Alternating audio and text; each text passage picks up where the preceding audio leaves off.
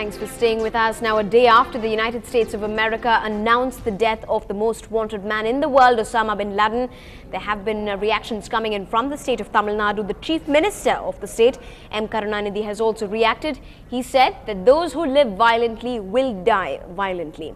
He added that this terrorist's life was a lesson that those who live by the sword will also die by the sword. Many try to label Osama's terrorism as Islamic terrorism, but we cannot accept it. Moving on, the Reserve Bank of India today increased the policy rates to rein in increasing inflation. The repo rate at which the RBI provides credit to banks has been hiked by 50 basis points. The reverse repo rate, which from now onwards will be 100 basis points below the repo rate, as a rule, has also gone up by 0.5 percentage points uh, to 6.25%. This is the ninth hike since uh, March 2010 and will certainly push interest rates upwards, making loans costlier. A hike in policy rates forces banks to increase interest rates, which now make auto, home, and other loans expensive. In fact, the governor came and I had a discussion with him. It was agreed upon that there should be a 50 basis points increase both in repo rate and reverse repo rate because the corridor of 1% we are maintaining. This was necessary to contain inflation. Inflationary pressure in the economy is still, uh, working very hard. If you compare the figure of WPI in month of July, it was around 10%. It came down to uh, 8.1% in November. But again it started behaving erratically and it moved to 9% in the month of March. Even the core inflation in the month of March is 7%.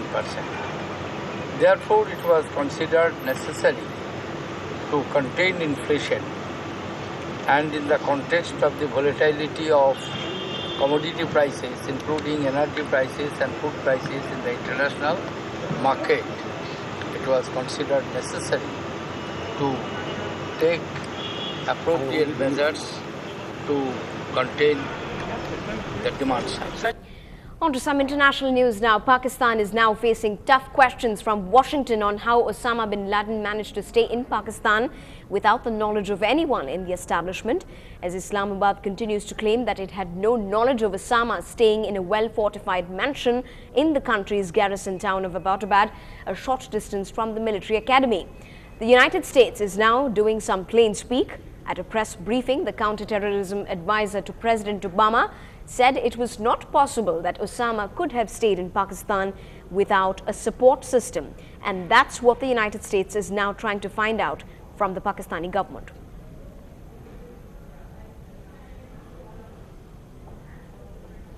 Uh, we are looking right now at uh, how he was able to hold out there for so long and whether or not there was any type of support system within Pakistan that allowed him to uh, stay there.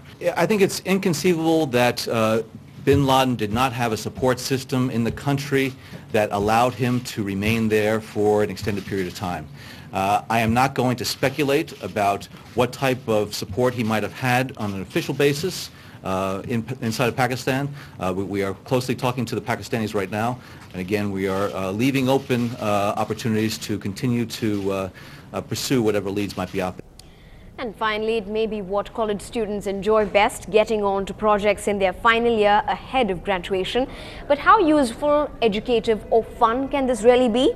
My colleague Pratiksha Ramkumar brings us this trendy story. Lovely, aren't they? 30 students from National Institute of Fashion Technology, Chennai spent 18 weeks working as interns in various textile and paper craft houses across the country. And each one of them came up with these designs. And yes, they do take into account what the trend will be in the near future. Uh, people do their projects in different places all over India Bombay, Bangalore, Jharkhand, Ranchi. There are so many places, and learning about them. Some some of them go to the clusters, you know, in small places, small workshops over there. Some uh, go to export houses. So it's nice, you know, we get a lot of exposure, and then it, it, it, it definitely helps us. It's it's like a link between our college life and our job that we're going to do after four years. What is more, while dabbing with designs and experimenting with fabrics, the students also remember to go green and stay environment friendly. I've also done a recycling collection where I've used the waste that is lying in the uh, company. So I've, I picked up that waste and I've made products out of it. With some attention to detail and a free run to the imagination, these students have given us a taste of things to come. In Chennai, with Pratiksha, Zoya Thomas for NDTV Hindu. And that's a wrap on the headlines. Now up next is the news in Tamil. Thanks very much indeed for being with us.